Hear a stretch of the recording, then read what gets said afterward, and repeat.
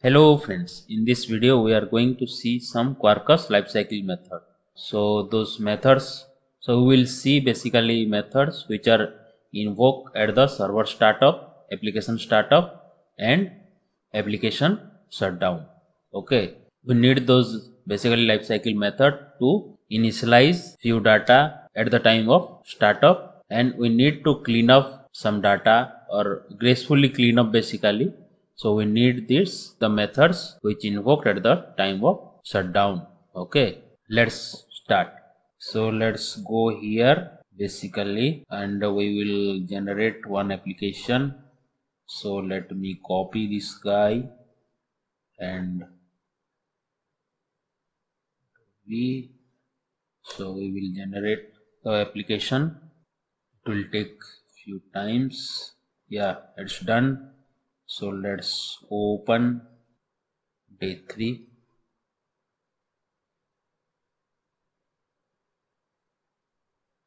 okay life cycle test. Open. Trust the project and let's open. So here in the java there is nothing. So we will create one package.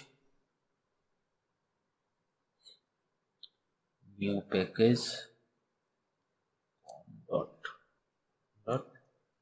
quarkus okay so let's create a myf okay so here we will give psvm so to make it main method class so we have to quarkus annotated with quarkus main okay. Then this is the main method so to start the application quarkus dot run and we have to pass the args arguments okay.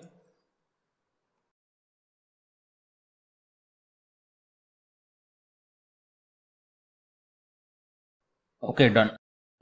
So this will start up the application so we need a bean to look at the basically life cycle methods. So let's take this name my bean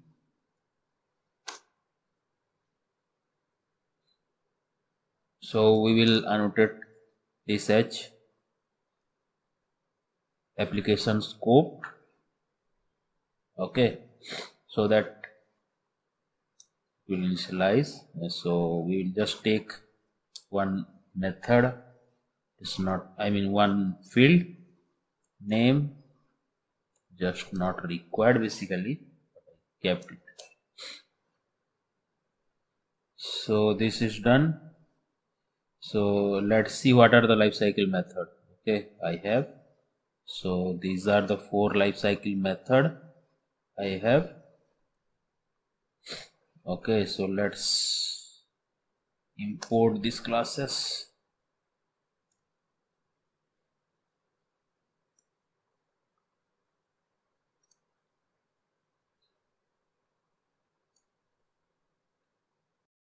Okay so this is basically observes at the StartupEvent. So at the start of so this event will come.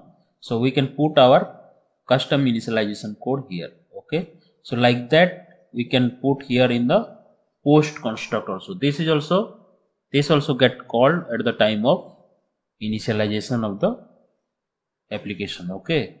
So here we can put our initialization code and on basically shutdown event so here we can put our cleanup codes. So besides that there is a pre-destroy method also okay? So here also we can write our basically cleanup codes. So let's run this one so let's go here and run our application and observe the logs.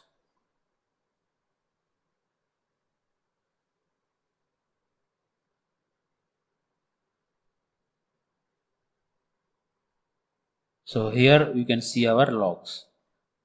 So basically post construct is called before the on start so you can see here post construct. So this post construct annotation is called before our on start StartupEvent basically. Okay? So like that. So any one you can use and you can put your basically connection creating connection pool code or any startup initialization code you can put here. And this is our so we clean this one we'll see at the time of shutdown how it get called okay so this see this is now get so on stop. Basically this event shutdown event is called before the pre-destroy. Pre-destroy is called later okay? So this is the sequence.